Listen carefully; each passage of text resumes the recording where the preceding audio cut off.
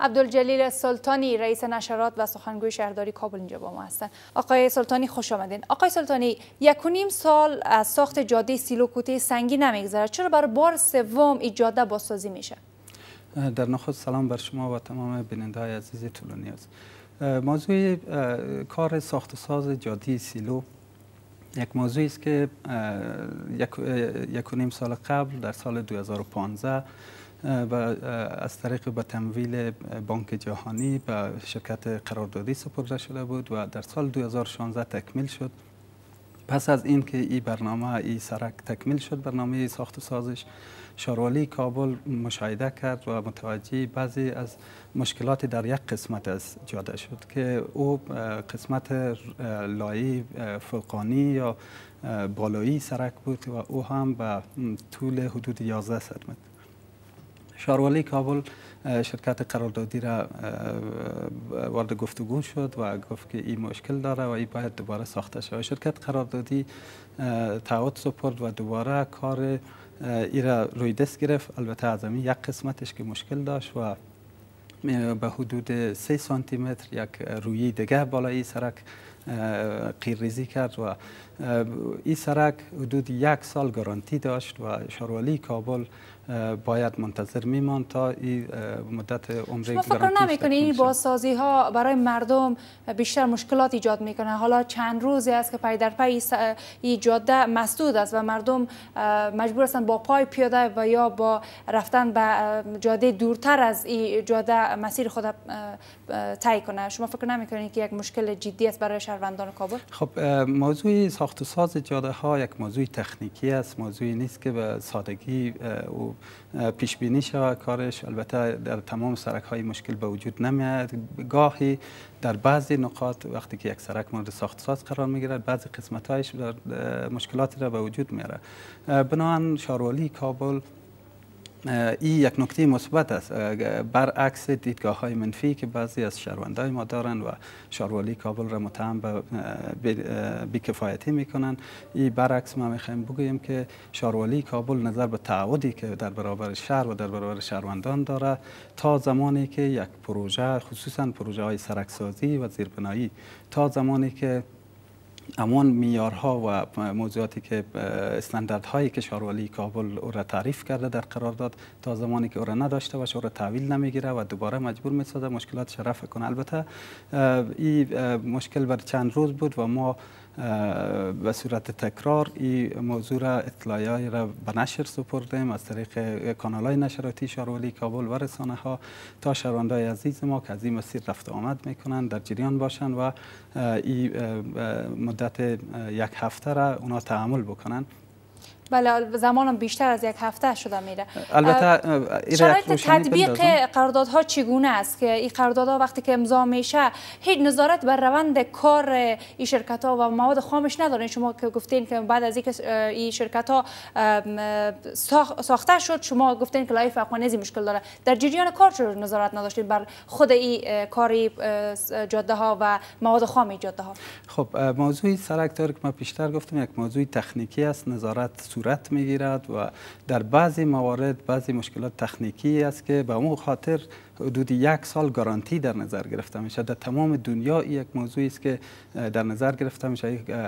ربطی به بیکفایتی یا به نظارت نکردن یک اداره ندارد و در تمام دنیا سرک ها خصوصا و تمام پروژه های زیربنایی وقتی که ساخته میشه یک مدت به همین خاطر به نام گارانتی اونجا به یک مدت تعیین میشه و در قرارداد گنجانیده میشه که تا زمانی که مدت گارانتیش سپری نشده باشه ما این را تحویل نمی‌گیریم.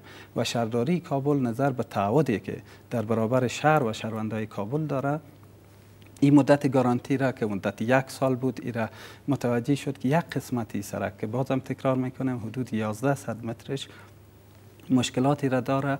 بنان ای را تحویل نگرفت و شرکت قراردادی را مجبور ساخته مطابق قرارداد و مطابق مدت معینی که برای گارانتی این سرک تعیین شده بود ای را دوباره مورد بازسازی قرار بده که خوشبختانه این کار آغاز شد و فعلا در مراحل پایانیش قرار داریم. البته در قسمت مدت تطبیقی برنامه که ما تعهد کرده بودیم که از دوشنبه الا جمعه در هفته گذشته این سرک کارش پایان خواهد یافت. اما متاسفانه نظر به مشکلات تدابیر امنیتی که نادای محترم امنیتی در اون ساحه روی دست گرفته بود در کار این شرکت و در کار شاروالی بعضی مشکلات پیش آمد که نتانستیم او را تکمیل کنیم و دو روز تاخیر آمد در کار ما و انشاءالله در روز سه شنبه هفته جاری این کار تکمیل میشه و از چهارشنبه دوباره این سرک برای شهرونده عزیز ما باشه شما که از نظارتتان بالای برنامه ها و پروژه ها راضی هستین رضایت دارین. پس چرا در مدت کم دوباره بازسازی شروع میشه و مردم قدر با مشکلات مواجه میشه خب موضوع اولا موضوع نظارت مشخص بسازیم در گذشته در طرف شهرداری کابل مشکلاتی در بخش نظارت وجود داشته که ما شاهد تخریب زودانگام بعضی سرک های بودیم که حتی سرک هایی که برای 20 سال ساخته شده بود در مدت کمتر از 5 سال تخریب شدن.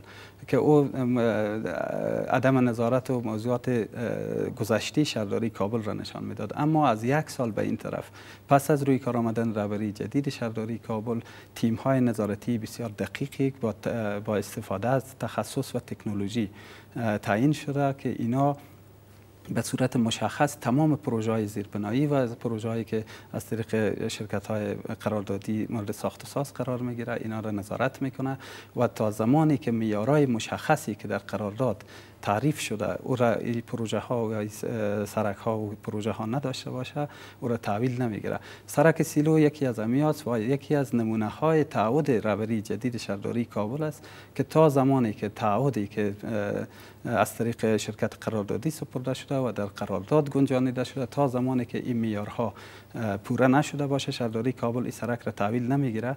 و ولی با اطمینان گفته می‌تونیم که فعلا مکانیزمی که شهرداری کابل در بخش نظارت از پروژه ها روی دست گرفته. این مکانیزم موثرترین مکانیزم است به خاطر که هم تکنولوژی مدرن و هم تخصص کافی را معطوف ساخته سر این سرک ها و این نظارت موثریت خاص خود خواهد داشت و در آینده ثابت خواهد شد که شهرداری کابل به خاطر همین تعهدی که سپرده این پروژه ها را نظارت دقیق می‌کنه و ارزیابی مشخص خود داره میریم طرف موضوعاتی که دیگه مردم از سوهای دیگه شکایت داشتن. مردم نای چهار چند روز قبل اعتراض داشتن در پیوند به ای که بازسازی جاده های اونا صورت نگرفته. این اعتراض ها چه پاسخی گرفتن؟ شما پاسخی دادین به این اعتراض ها بله دقیقا. موضوع سرک های نای چهارم اولا باید یک روشنی بندازیم که چنانچه سرپرست شهرداری کابل روز پنجشنبه در کنفرانس مطبوعاتی هم با آن اشاره کرد. موضوع ساخت و ساز سرک ها یکی از وسیع ترین و بزرگترین برنامه هایی است که در سال 1396 شهرداری کابل به آن توجه جدی کرده. البته در طی این سال هشت سرک اصلی و بزرگ را ما در قسمت شمال کابل داشتیم. که ولایات مختلف را به شهر کابل وصل می‌کنه. ما خوشبختانه در ماه مبارک رمضان چهار سرک از را تانستیم افتتاح بکنیم و چهار سرک دومش که شامل مسیرهایی که مربوط نایی چهارم میشه. این سرک ها متاسفانه نظر به بزرگی حجم پروژه ها کار تدارکاتیش از طرف اداره ملی تدارکات کمی طولانی شد و فعلا در آخرین مراحل پروسی تدارکاتیش قرار داریم و تا زمانی که این کار تدارکاتیش تکمیل نشه و شهرداری کابل نمی‌تونه اینا را روی دست بگیره. به دلیل اینکه اسناد تکنیکی یک پروژه از طرف شهرداری کابل بله، تکمیل میشه و به اداره ملی تدارکات ارسال میشه و تا زمانی که مطابق قانون بله تشکر. هستیم که این مراحل تدارکاتی زیادتر طول نکشه و به زودترین فرصت عملی شود. شما.